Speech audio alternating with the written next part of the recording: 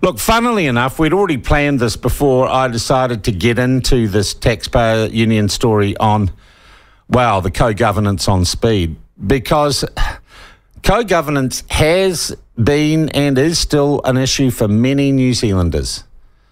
Um, and a group set up in Northland that we've covered who've had their problems, and they're setting up a kind of lobby group called Stop Co Governance, quite specifically on this issue.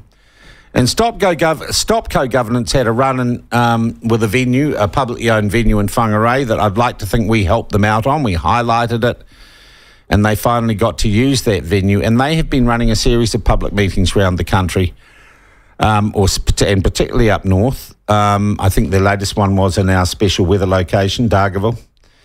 Um, the leader of this group is Julian Batchelor. And we thought we'd check in to see with Julian to see how Stop Co Governance, his campaign, is going and what sort of headwinds he might be running into. Hey, Julian, nice to have you uh, on the platform again. Welcome to the program. Sean, thank you for having me. I'm looking forward to this. All right. Now, since you got your venue in Whangarei and had your meeting, how many other meetings have you had, public meetings have you had?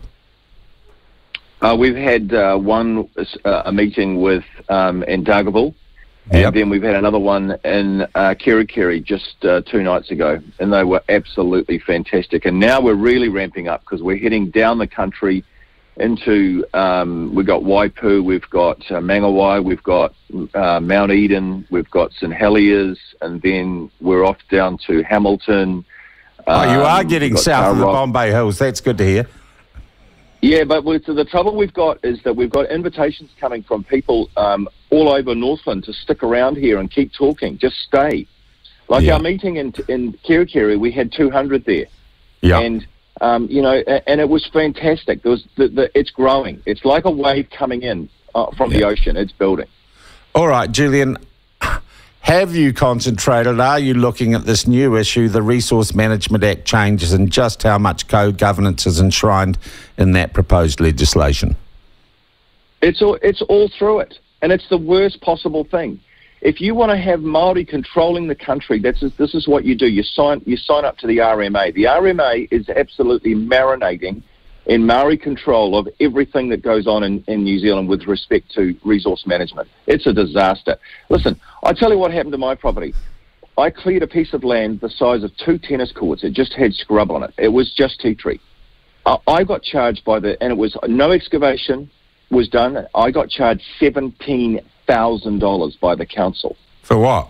And most of that, most of that for clearing the land, uh, because most of that was uh, having to deal with Maori writing into the council saying they didn't want me to chop down tea tree because it was sacred uh, wood, sacred uh, plants, and uh, there was all this correspondence at $170 an hour, and I have to pay for it. And so Maori got clicked onto this, and they went, "Oh, this is this is kind of good. We can actually screw Julian Batchelor over by writing to the council because the person in charge of my my uh, resource consent had to answer all those letters at $170 an hour. So Maori can think, oh, if we can flood the council with letters, they've got to answer them all, his price goes up. And so this is what's going on. Did People they come to you? Did they come to you, Julian, and say, if you just flick us five grand, we're all sweet? I've had I've had a, a, a bribery and corruption going on here. I've had uh, people with my property in the Bay of Islands. Somebody come up and say, if you don't give us your land, we're going to burn your house down. So it's it's not, not very subtle, is it? Have you gone and, to the police about um, that? You would, wouldn't you, Julian? Yes, yes, I have. In fact, I, I recorded the call.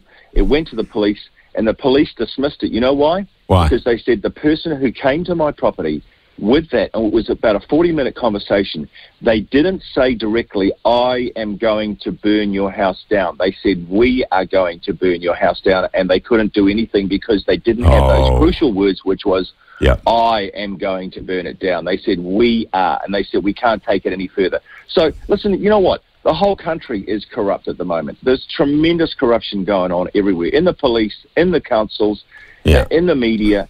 It, it, this this place. Well, I, I, look, I can't speak to that, and I'm not sure, Julian, that you know everything that's going on everywhere in the country. But I do want to talk about the meetings you've had, well attended. But has everyone been supportive or not, or have you had a bit of blowback? Oh, of course not. We've had we've had um, protesters turning up in Dargaville, protesters turning up in in uh, in in uh, Kerikeri. But the interesting thing is, you know, these Maori protesters, we, we've said to them, hey, we wouldn't come onto your marae and uh, trash your marae and uh, interject when people are speaking on the marae because we've got more respect than that. We're, we're educated. We're people who have um, uh, uh, been trained to be polite, to be respectful. Why can't you do that? This is this is our marae. Have Come police on. intervened at Have all? They, Has there been any violence?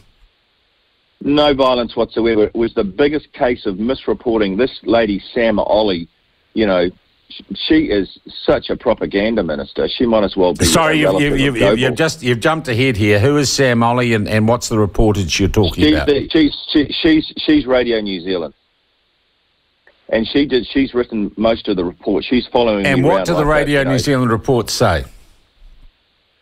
They said that um, that uh, well, I just go through them. They said that the police had to break up the the the um, the meeting in Dargaville. They did not.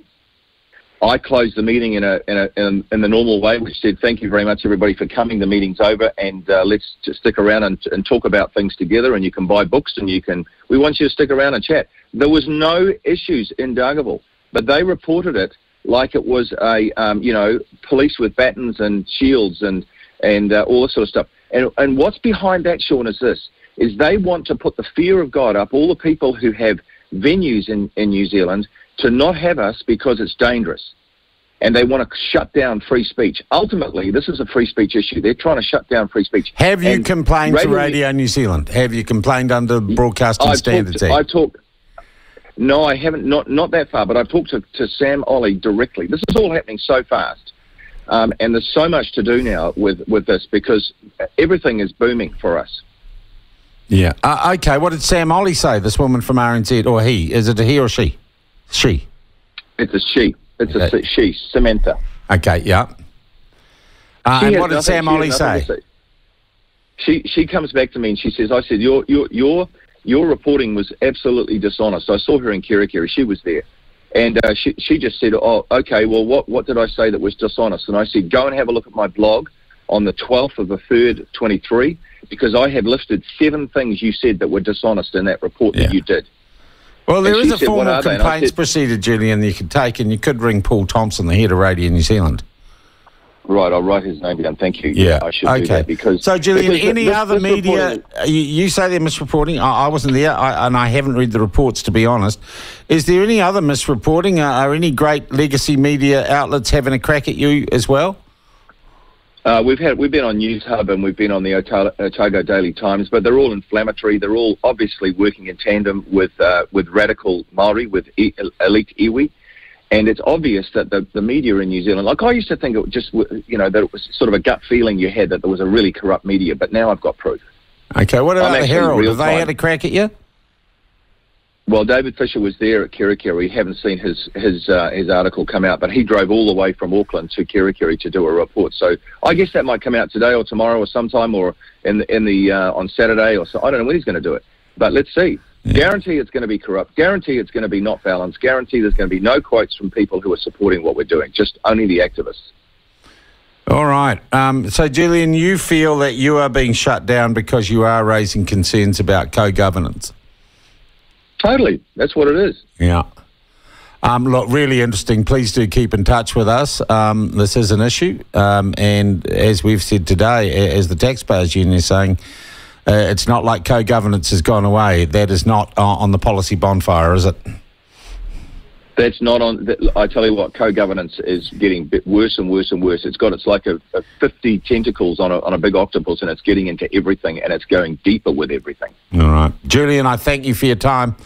Um, we must go and have a look at that RNZ stuff. Um, not surprising that legacy media have a crack at someone like Julian Batchelor. I'm not saying I agree with every or necessarily even believe everything he says. But he's got a right. In an open democracy, you got a right to have unpopular views or views that aren't in the mainstream.